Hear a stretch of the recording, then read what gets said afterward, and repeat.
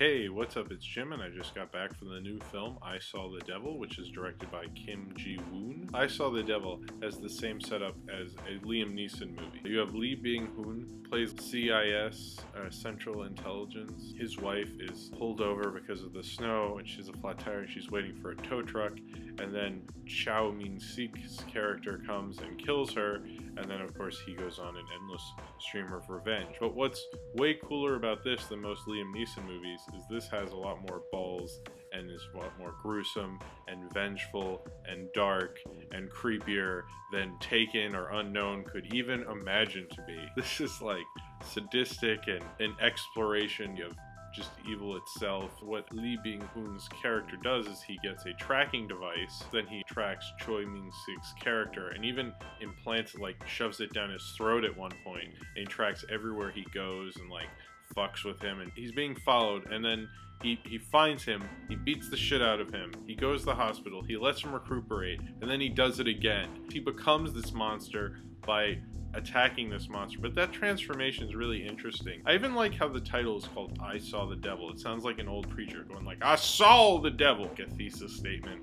on this evil, but it's kind of creative in a way because it's shouting out the evil. Like, I saw the devil, and oh, this is how we'll get him, and we'll use our vengeful ways to get him. That maddening fear of evil that is almost evil itself. Sure, he's doing a good thing. He's avenging his wife, and this guy's a horrible person but you can't be horrible to someone that's horrible. It's like not two wrongs don't make a right. The way he does it is so sadistic and creepy. Kim Jee-woon, who I've seen before, he's very stylized, and this film does have a lot of style, and in the right way because some of the camera work reminds me of like In the Line of Fire and The Fugitive, clear action movie cinematography. To use length in this way to kind of show you how monotonous and how horrible this was reminds me of how Zodiac used the length on purpose to show kind of how long and drawn out that investigation had become. I saw the devil shows how long and drawn out this revenge had really gotten to and how sick and how evil it had become and they used the length to really show that to you. Choi Min Sik's performance is just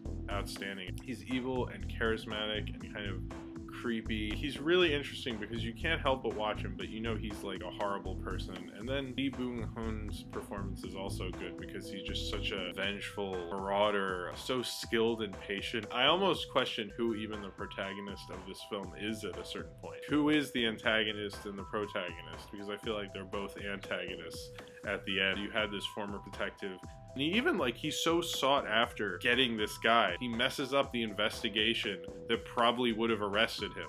Like they weren't it wasn't like in a Liam Neeson movie or something, they'd be doing nothing and they'd be going nowhere. But in this movie, the film is pointing out to you Lee Byung Hun's character. He's gone kind of mad. Like he's used police equipment he wasn't supposed to with the GPS device. He's interrupting an investigation that's working. Like if he had helped them, they could have got him, but he didn't. He got in the way quite a few times. And I like how the violence is not just shock and gore, but also kind of amusing, which is something I did not expect. The humor in the violence of this film is quite remarkable. I mean, this is some blood-sucking freaks kind of stuff right here. I, I was a little surprised. It's there because they're really trying to say something with it. It's a little more interesting. Not to say I like kind of like pointless violence as well, but I see a lot of pointless violence. So I kind of like it that this violence has a certain amount of meaning and it has something to say, like philosophically, that, you know, I don't really get from Machete. I don't think it's as good as Old Boy or anything. When you'll be thinking of South Korean revenge movies,